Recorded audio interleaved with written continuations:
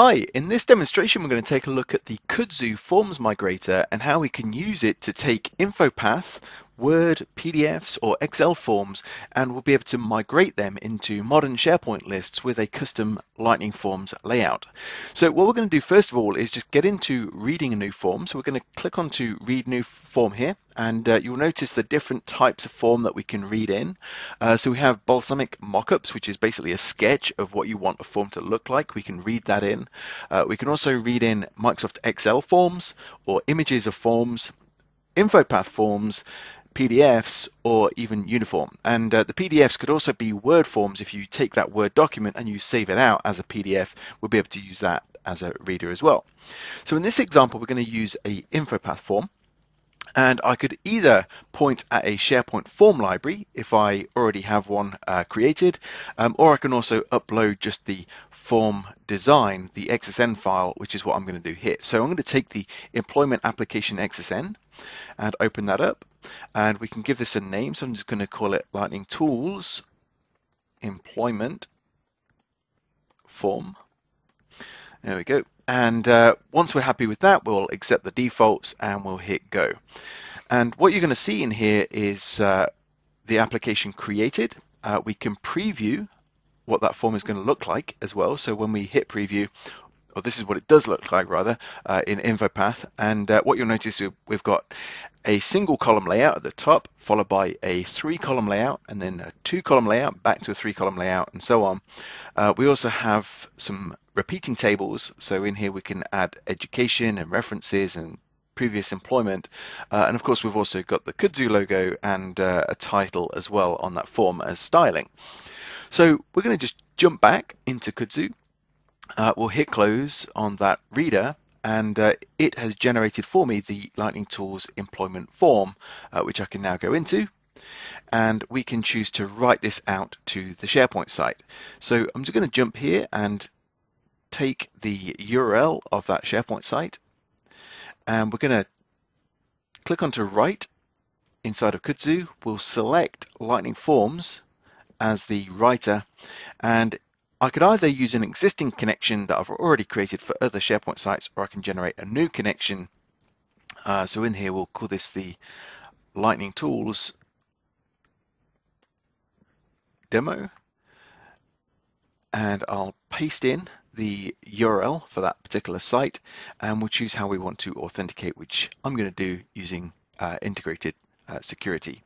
So we can test that as well, make sure that we can communicate with that site. So that's come back successful. Uh, we can hit save and now we can hit go and that will go through and write that InfoPath form into multiple SharePoint lists within inside our site. So the lists that get generated, we're going to have one for the main form, um, we're also going to have one for each of the sublists. So for the education, uh, the employment history, and so on, that's all going to be generated here.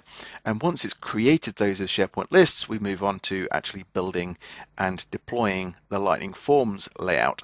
Uh, and of course, you could customize that further um, after it's been deployed. If you wanted to make any changes uh, using Lightning Forms, uh, you don't have to accept it as it was in InfoPath, we could make further refinements uh, using Lightning Forms as well. So that's now at the deployment stage. Hopefully we'll be able to see some success uh, from that, which we now do. Um, so this says it was 100% uh, successful. Um, so let's just close uh, the Kudzu uh, migrator. We'll jump up into the list. Let's choose the site contents so we can see those lists generated. So as you can see we've got uh, multiple lists here. This top one is the main list. Uh, so as we, we go into that, we'll be able to click onto Lightning Forms and see the customized layout. So clicking onto Lightning Forms here, uh, we'll click onto Customize on the new form. And here is our layout. So we have the title, uh, employment application along with the logo.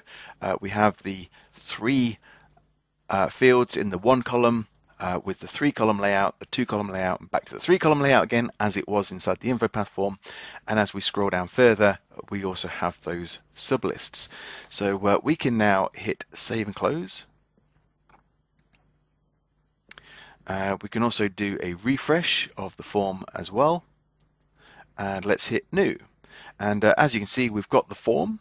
Uh, so we can go through and, uh, and complete that form now. Uh, what I am going to do is just take a moment uh, to jump back into Lightning Forms and we'll just customize that form layout uh, a bit further to make it bigger because that's the default size that we have there for a SharePoint list panel.